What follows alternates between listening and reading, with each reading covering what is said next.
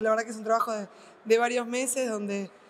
eh, queremos, digamos, recabar la mayor cantidad de datos posibles para que tengamos los clubes de la provincia. Es, los clubes para nosotros son muy importantes dentro de la gestión, donde se forma nuestro deportista, donde contienen muchísimos chicos que, practican actividad deportiva y otros que también eh, hacen del club su, segunda casa. Así que la idea es eh, lanzar este relevamiento para conocer la situación, tanto de edilicia como infraestructura deportiva, como actividades deportivas, qué es lo que contamos hoy en día en cada una de las instituciones para, para seguir pensando diferentes programas eh, en torno a, los clubes de nuestra provincia. Tienen que ingresar a, una página, un link, eh, van a tener hasta el mes de febrero para, para hacerlo, para contestar eh, todas las preguntas que, es sencillo, es, es, corto, la idea es, es que ellos nos puedan, los clubes nos ayuden a recaudar, a recaudar la mayor cantidad de información posible para arrancar el, el 2023 con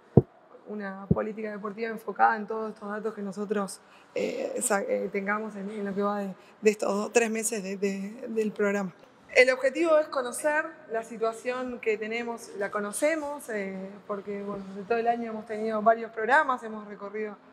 los clubes, los clubes se han puesto a disposición para todos los programas, uno de los programas importantes fueron los Juegos Santafesinos, que los clubes han sido sede de, de este programa tan importante, han sido sede de más de 80.000 chicos, que han participado de, los Juegos Santafesinos y han hecho actividad deportiva en los clubes, pero la idea es tener números puntuales eh, de cada una de, ya sea, como decíamos anteriormente, de infraestructura deportiva, eh, qué es lo que cuentan hoy los clubes, en qué situación está la comisión directiva, cuántas mujeres también tenemos dentro de, cada una de las instituciones, para a partir de, eso empezar el mes de, febrero, después de este relevamiento, con números concretos y